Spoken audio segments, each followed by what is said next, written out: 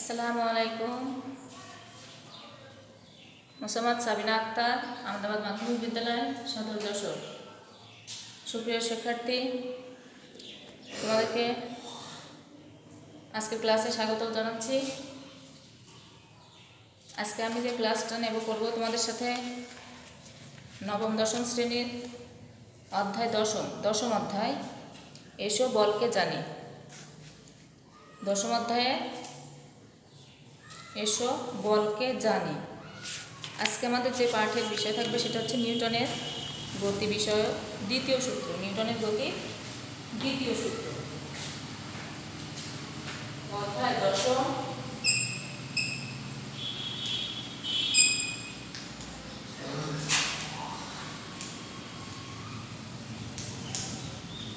দশম অধ্যায়।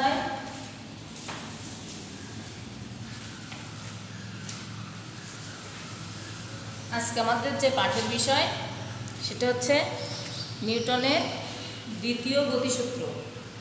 বলের পরিমাণ ও নিউটনের দ্বিতীয় গতিসূত্র।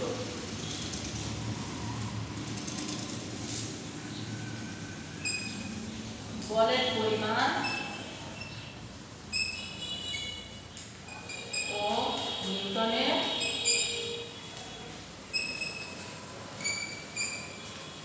নিউটনের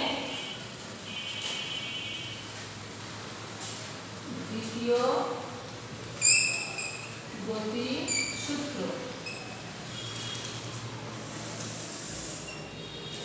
আমাদের আজকে পাঠের বিষয় হবে কি?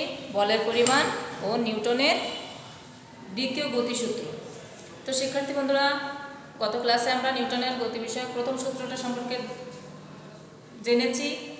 তো আজকে আমাদের যে বিষয়টা, সেটা হচ্ছে নিউটনের গতি, দ্বিতীয় সূত্র।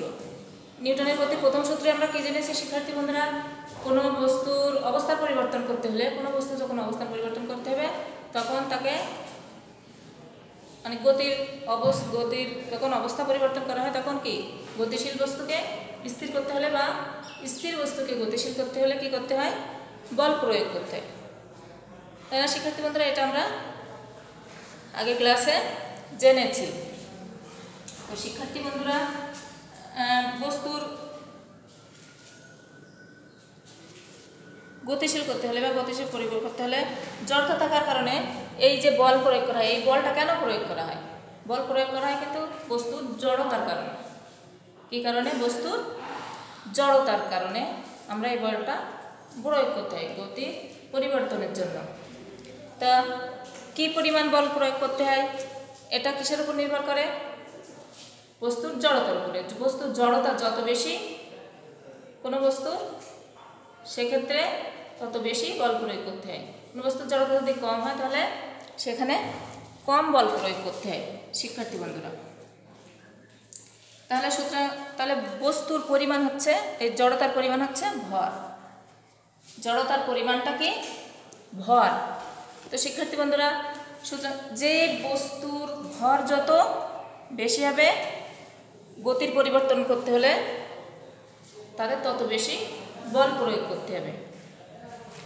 তাহলে একটা নির্দিষ্ট বস্তুর উপর কতখানি বল প্রয়োগ করলে সেই বস্তুর গতির কতটা পরিবর্তন হবে? বস্তুর ভরের উপর, একটি নির্দিষ্ট ভরের উপর কতটা বল প্রয়োগ করলে বস্তুর কতটা গতি পরিবর্তন হবে সেটা নিউটনের গতিসূত্র থেকে আমরা আজকে জানব। তো শিক্ষার্থী বন্ধুরা, নিউটনের গতিসূত্র জানার আগে আমাদেরকে দুটো বিষয় সম্পর্কে জানতে হবে। দুটো রাশি সম্পর্কে জানতে হবে। একটি হচ্ছে ভরবেগ আর একটি হচ্ছে তরে তরল। একটি হচ্ছে ভরবেগ ভরবেগ আর একটি হচ্ছে কি? তরল।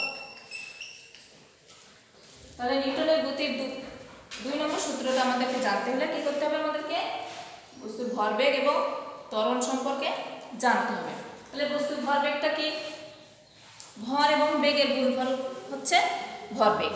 তাই না, শিক্ষার্থী বন্ধুরা? ভর আর বেগের গুণফল ভর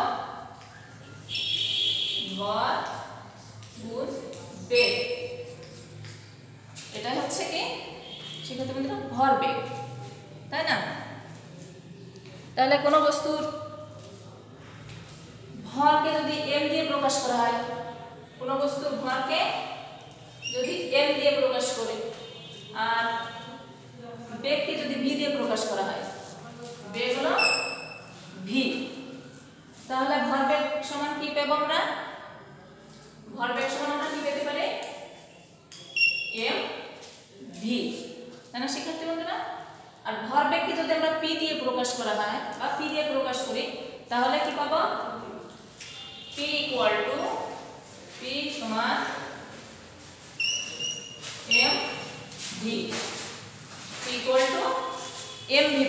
শিক্ষার্থী বন্ধুরা, তাহলে এখানে পি কে কি বলা হয়েছে? ভরবেগ আর এম হচ্ছে ভর, আর ভি হলো বস্তুটির বেগ।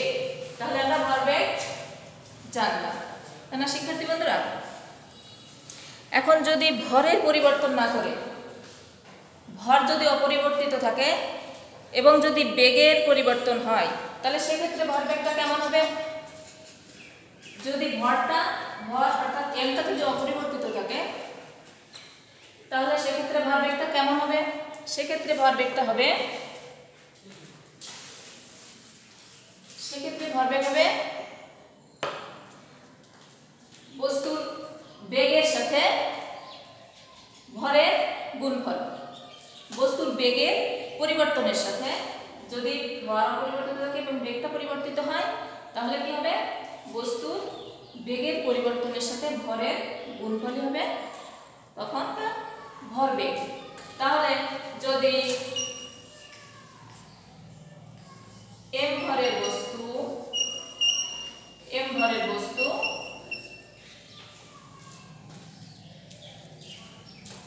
বেগ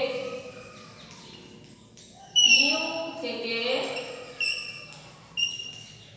পরিবর্তিত হয়ে যদি এম ভরের বস্তু বেগ ইউ থেকে পরিবর্তিত হয়ে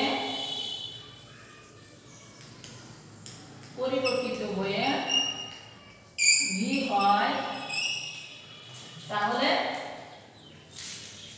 বেগের পরিবর্তনটা কি হবে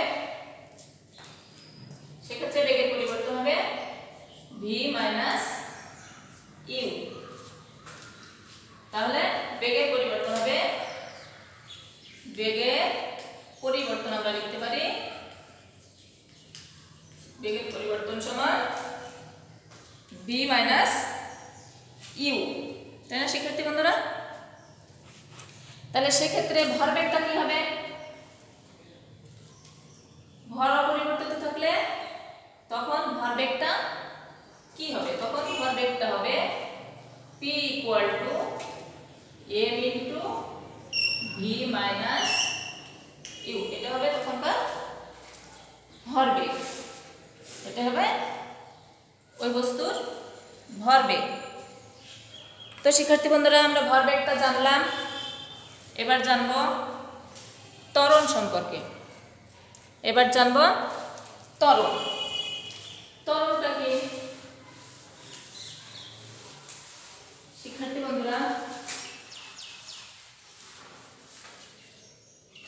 ত্বরণটা হচ্ছে একক সময়ে বস্তুর বেগের বা গতির কতটা পরিবর্তন হলো? কোনো নির্দিষ্ট সময়ে বস্তুর কতটা গতি পরিবর্তন কতটা গতি পরিবর্তিত হলো বা গতি গতির পরিবর্তন হলো সেটা হচ্ছে ওই বস্তু ত্বরণ। তাহলে আমরা ত্বরণটাকে কি লিখতে পারি?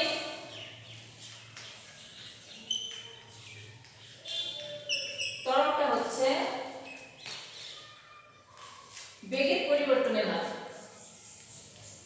বেগের পরিবর্তনের হার ত্বরণটা হচ্ছে বেগের পরিবর্তনের হার। তো কোনো নির্দিষ্ট সময় যেমন টি টি সময়ে বস্তুর বেগ যদি টি সময়ে যদি টি সময়ে টি সময়ে কোনো বস্তুর বেগ বস্তুর বেগ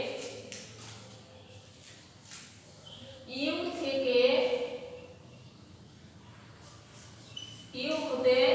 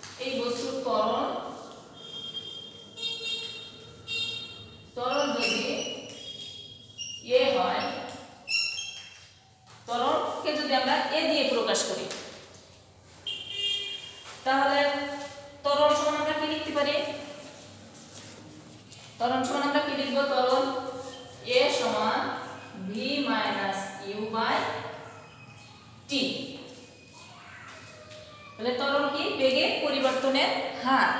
বেগের পরিবর্তনটা কি? ভি মাইনাস ইউ বেগ ইউ বেগ থেকে, বেগ ইউ থেকে পরিবর্তিত হলো, বর্ধিত হয়ে ভি হলো। তাহলে ভি মাইনাস ইউ হচ্ছে বেগের পরিবর্তন। আর হার পরিমাপ করতে আমরা সময় টি ধরেছি। তাহলে ত্বরণ আমরা কি পেলাম? এখানে ত্বরণ A equal to V minus U by T তাহলে সেক্ষেত্রে আমরা আমরা ত্বরণ এবং ভরবেগ দুটো সম্পর্কে আলাদা আলাদা করে জানলাম। তাহলে এই যে ত্বরণ এবং ভরবেগ আমরা জানলাম, এই ত্বরণ এবং ভরবেগ আমরা বুঝতে পারলে আমরা নিউটনের দ্বিতীয় সূত্রটা উপলব্ধি করতে পারব বা সুন্দরভাবে বুঝতে পারব। তাহলে নিউটনের দ্বিতীয় সূত্রটা কি, শিক্ষার্থী বন্ধুরা? নিউটনের দ্বিতীয় সূত্রটা হচ্ছে, এবার আসব কি থেকে আমরা নিউটনের দ্বিতীয় সূত্র। বস্তুর ভরবেগের পরিবর্তনের হ্যাঁ? দ্বিতীয় সূত্র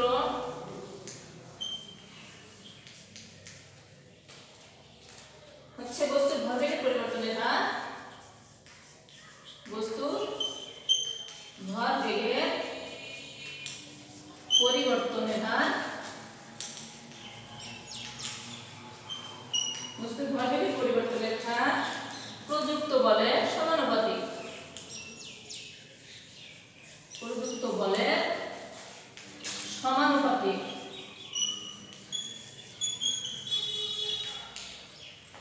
বস্তুর ভরবেগের পরিবর্তনের হার প্রযুক্ত বলের সমানুপাতিক। এই বলকে এমনভাবে সংজ্ঞায়িত করা হয়েছে এখানে আমরা সমানুপাতিক না বলে সমান বলতে পারি। সমানুপাতিক না বলে কি, শিক্ষার্থী বন্ধুরা? সমান বলতে পারি। তাহলে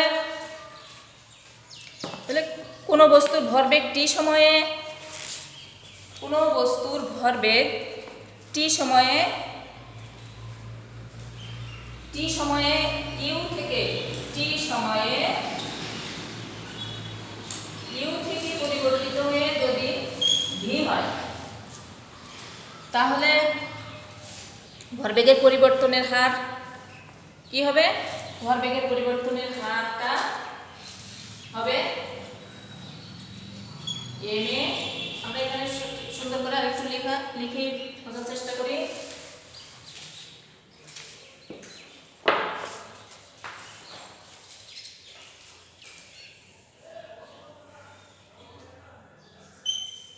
বস্তুর ভর বেগ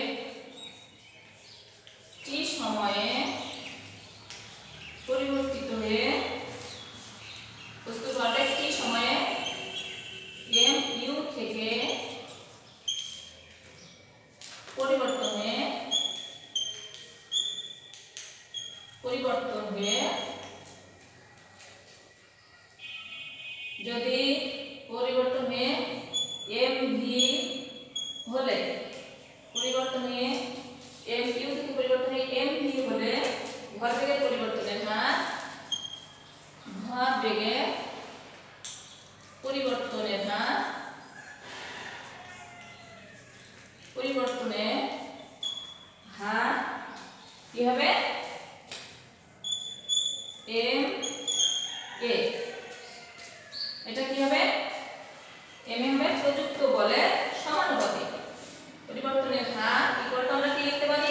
M into V minus U by T এটা কি হবে এটা প্রযুক্ত বলের সমানুপাতিক। প্রযুক্ত বলের প্রযুক্ত বলের সমানুপাতিক বা সমান। সমানু সমান।